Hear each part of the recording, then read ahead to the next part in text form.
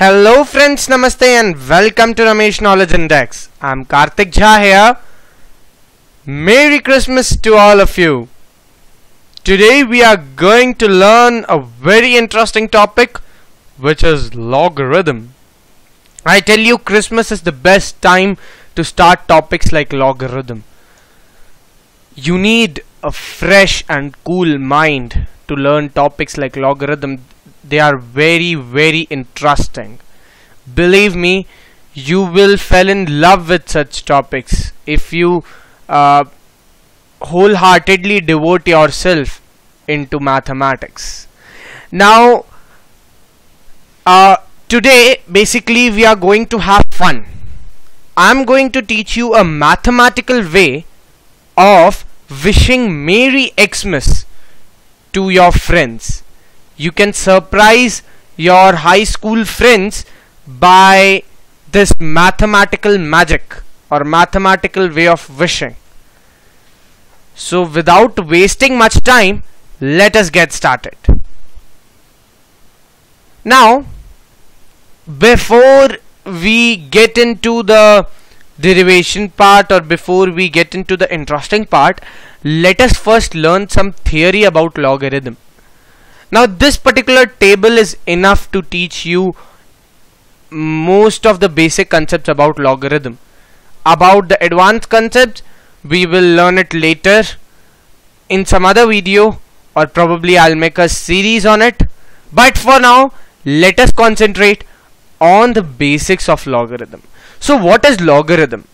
See logarithm is the inverse form of expressing exponents.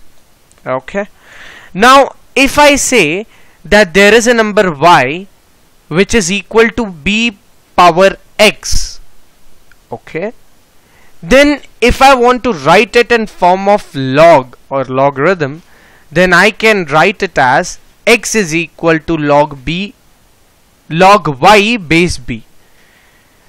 Okay so if I have a number say 4 I know that 4 is equal to 2 into 2 correct? Which is 2 square. Correct? Now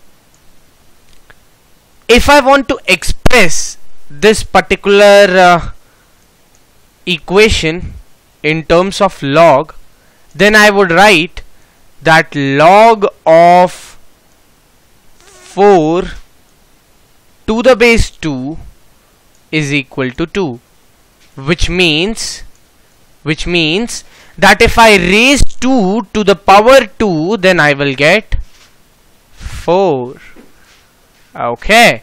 Now how do you memo how do you get to know about this? How do you get the feel of this? Whatever thing you have in the base that is the number to which you are going to raise the power. And the power to which you are going to raise this number is the answer is the other side of the equation. And whatever you have in terms of log is actually the answer or the other side of the exponent. We have more such examples which will make it very clear for you all. Y is equal to 2 power x. So I can write it as here we are in search of the power not in search of the answer. We are in search of the power. In exponents or in indices we are in search of the answer. If I say 2 into 2 into 2 I want to know what is 2 cube it is 8 but here I want to know to which power should I raise. In logarithm I want to know in to which power should I raise 2 so that I will get 8 get that so here if I have y is equal to 2 power x then I can write it as x is equal to log of y base 2 so this is the base okay? Here b is the base okay? Uh, now 2 power x is equal to 16 so I can write it as log of 16 base 2 that means to what power should I raise 2 so that I get 16 and I guess most of you know what it is 4 so the answer of log 16 base 2 is 4 quite simple isn't it? Now I have 3 to the power 4 is equal to 81 I can write it as log of 81 base 3 to what power should I raise this base? That is 3 so that I get 81 and that's equal to 4 now you see this constraint here it says that b should not equal 1 the base should not equal 1 why do they say that? Can anybody answer this question? Just think over it once. Yes. You are right. Suppose, let us try finding this out with an example. If I say that x is equal to log of 2 base 1 okay.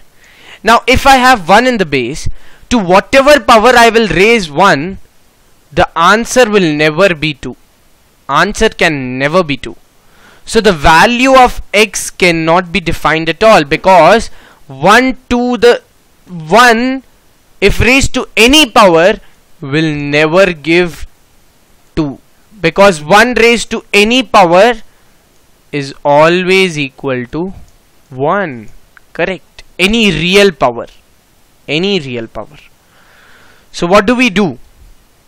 We always write this exception one. Now some of you may suggest me this thing.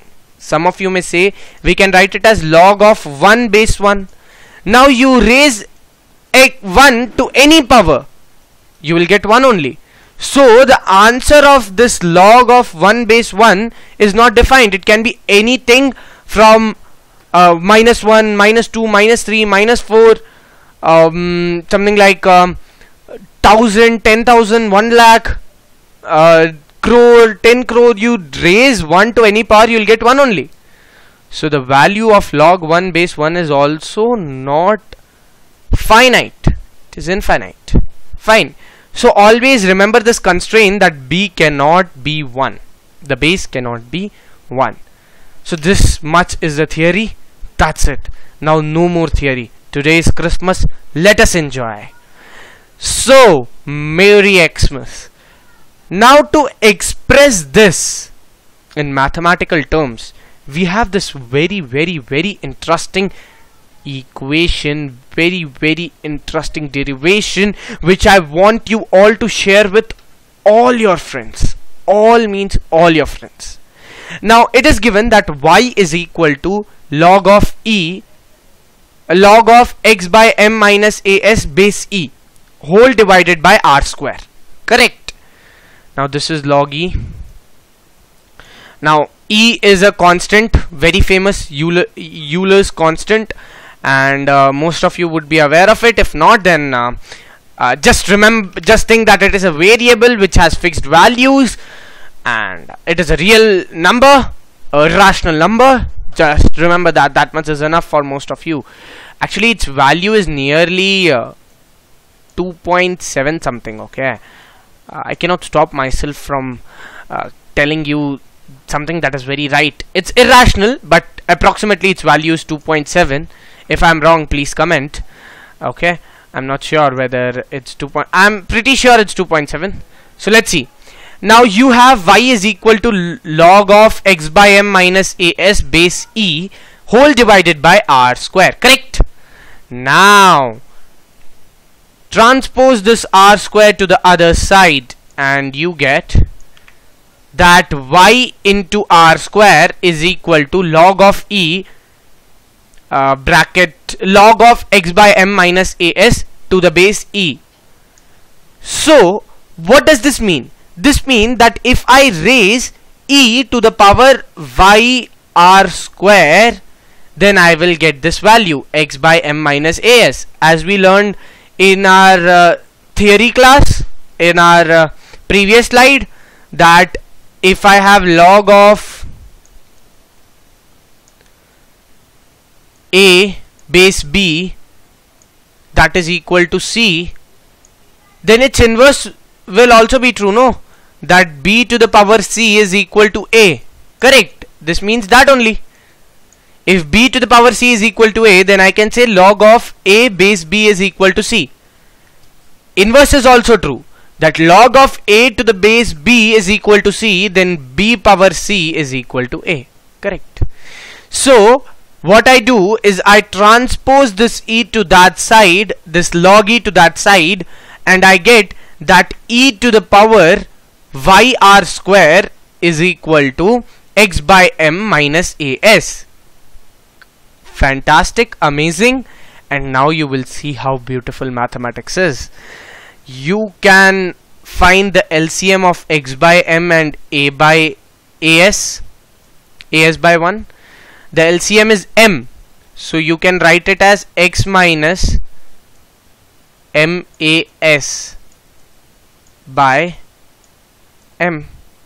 And then you transpose this m to the other side and you will see that everything works so beautiful. Oh the best mathematical way of wishing Merry Xmas. Merry Xmas. You transpose m there you get me to the power yr square. I write r in front r into r into y that is r r y is equal to x minus mas so Merry Xmas. How beautiful it is. Liked it share it.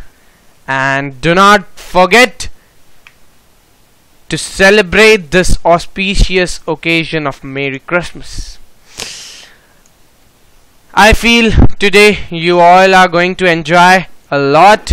Most of you are on holidays so enjoy your holidays. Do not take stress. Thank you. And stay tuned with RKI because on the auspicious occasion of uh, New Year I'm going to make a very interesting video which will be admired by all the mathematicians. So stay tuned. Thank you.